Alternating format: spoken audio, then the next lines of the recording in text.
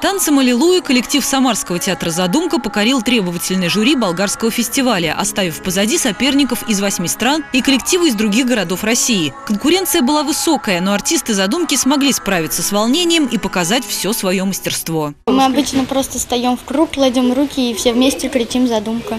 Нам это помогает настроиться. Больше всего, наверное, мы ну, считали нашими самыми главными соперниками из нашей страны э, несколько коллективов.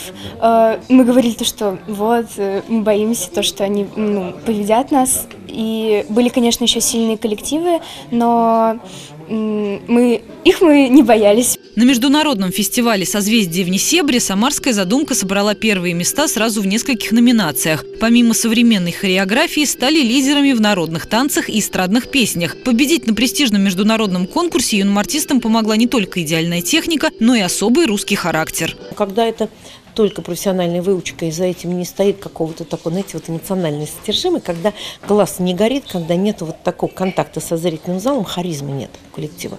Но это проходит, да, хорошо, ну, скучно.